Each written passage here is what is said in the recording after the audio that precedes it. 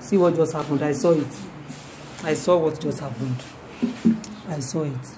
Your glue wasn't taken care of. It smeared. Your glue smeared and uh, it sticked on this finger. No, it's No, no, we're trying from to my hand. measure, Compare so the thing. compare the to cut. Okay. Okay. Hello. Hello. You want you want to show your client. Hmm? Let me show you how to show your client. Let me hold it. Professional way of showing your client is this. You lift something up. Hmm? Are you picking it? Done. You go this. It's Okay, see. Do you understand? You say, are you, is it okay?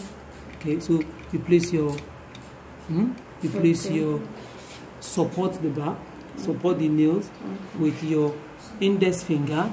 Do you understand? With your index finger, then you go. Should I? Yes, ma'am. Is it okay? Yes, ma'am. Am I still there? Yes. Am I still there? Yes. That's it. Okay.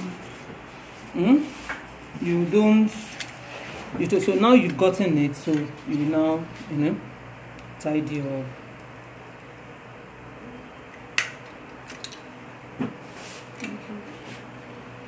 Okay, when your, when your client starts going, show my face. Show my face. Assume, assuming I'm client, oh, put the. I not say, Auntie, is it okay? And your client just no, I think it's too short.